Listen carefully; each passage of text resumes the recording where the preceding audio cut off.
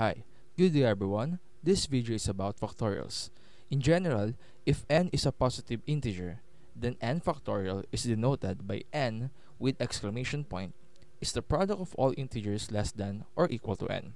So we have this formula, n factorial is equals to n times n minus 1 times n minus 2 up to 2 times 1. Alright, so as a special case, we have this 1 factorial and 0 factorial. So both of them is equal to 0. So this time, let's try to answer this set of example. So for our example number 1, if we have 5 factorials, automatically that is equals to 5 times 4 times 3 times 2 and times 1. That is 5 factorial.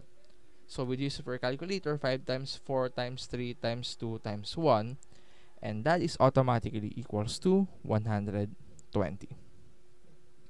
So 5 factorials is equals to 120. Next, for our example number 2, if we have 7 factorials, again, same procedure, 7 factorial is equals to 7 times 6 times 5 times 4 times 3, 2, and 1. So with this for calculator, 7 times 6 times 5 up to times 1 is equals to 5,040. So that is the value of 7 factorials. Next, for our example number 3, for example, we have this quantity of 8 minus 5 factorial. Again, to solve this problem, let's simplify um, the values inside our parentheses and then solve it and or, evaluate it with the use of our factorial. So we have 8 minus 5. Automatically, the value of 8 minus 5 is equals to 3. That means we have 3 factorial which is equals to 3 times 2 and times 1. So 3 times 2 times 1 is equals to 6. So that is the value of quantity of 8 minus 5 factorial. So for our example number 4, this time let's divide um, numbers with factorial. So we have 8 factorial divided by 6 factorial. So if you want to rewrite this set of values, 8 factorial is equals to 8 times 7 times 6 times 5 times 4, 3, 2, and 1. This time, we need to divide the set of values to 6 factorial, which is equals to 6 times 5 times 4 times 3, 2, and 1. Since they share um, common set of values with um, factor of 6, 5, 4, 3, 2, and 1. So just cancel out those values and then simplify the remaining values. So we have 8 and 7. So 8 times 7 is equals to 56. So that is equals to 56. Therefore, 8 factorial divided by 6 factorial is equals to 56. For our example number 5, let's say we have the 7 factorial divided by 5 factorial. Again, same procedure, we need to divide the set of values.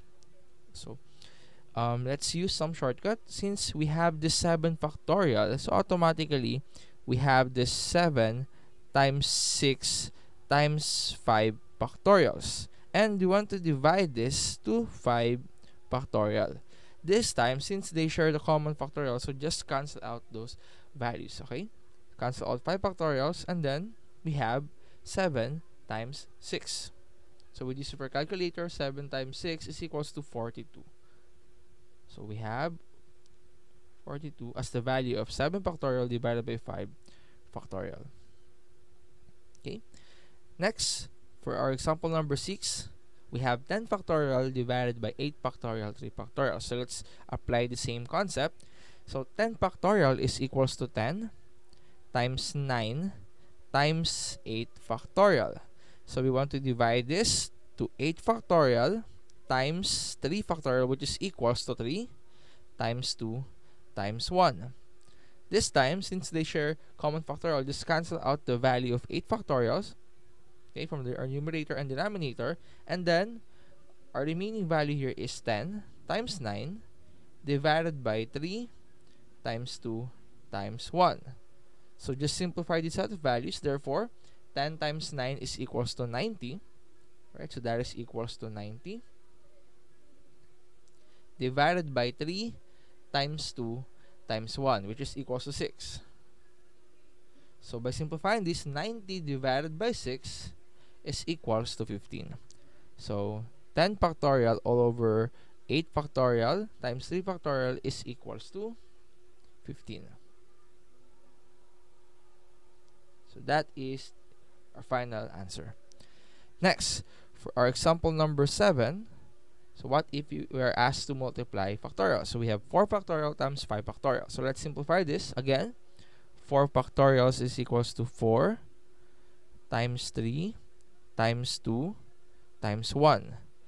So we need to multiply the set of values to 5 factorial which is equals to 5 times 4 times 3 times 2 times 1. So with this for calculator, just multiply all of um, this um, set of values. So the final answer is equals to 2,880.